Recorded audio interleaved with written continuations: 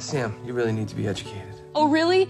Um, can either of you tell me who wrote The Great Gatsby? Judy Blume? Hitler? F. Scott Fitzgerald, Who's that?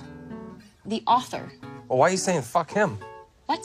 You just said F. Scott Fitzgerald. What, what did Scott Fitzgerald do to you? Yeah. No, that's his first name. His name's Fuck Scott Fitzgerald? What? No! Well, then what's the F stand for? Francis. No, it's gotta be fuck. It must be It's gotta fuck. be fuck. Yeah. It has to be fuck. Why the hell would it be fuck? Well, because otherwise, why wouldn't he just say it? Yeah, he's hiding something. It's fuck. Come on, read between His the lines, fuck. Sam. It's fuck. It's completely insane. You guys are idiots.